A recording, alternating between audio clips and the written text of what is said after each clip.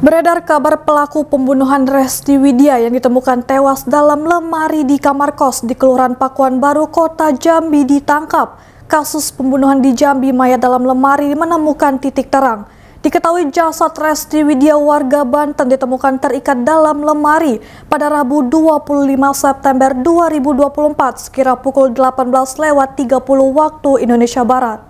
Terduga pelaku pembunuhan Resti Widya ditangkap di wilayah Musi, Banyu Asin, Sumatera Selatan pada Kamis 3 Oktober 2024 sekitar pukul 5 lewat 50 waktu Indonesia Barat.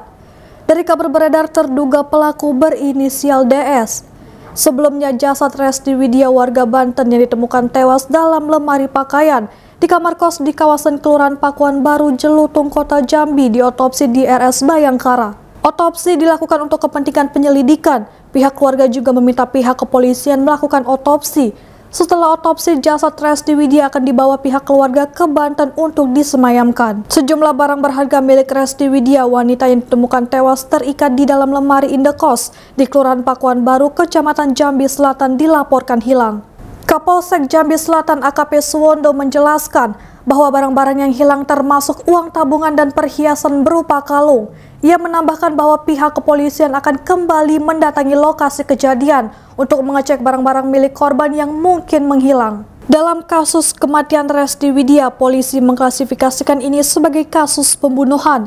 Sebelumnya, polisi telah memeriksa 12 orang saksi terkait dugaan pembunuhan terhadap Resti Widya yang mayatnya ditemukan di dalam lemari pakaian di kamar kos.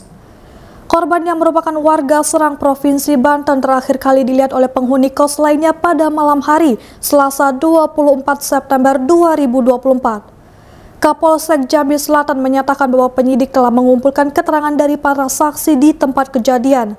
Suwondo juga menyebut bahwa pihak keluarga korban setuju untuk dilakukan otopsi oleh dokter forensik setelah jasadnya tiba di Jambi. Selain itu, pihak keluarga telah membuat laporan resmi atas kematian Resti Widya. Kasus ini sedang ditangani oleh Polsek Jambi Selatan dengan dukungan dari Jatan Ras Polresta dan Polda Jambi.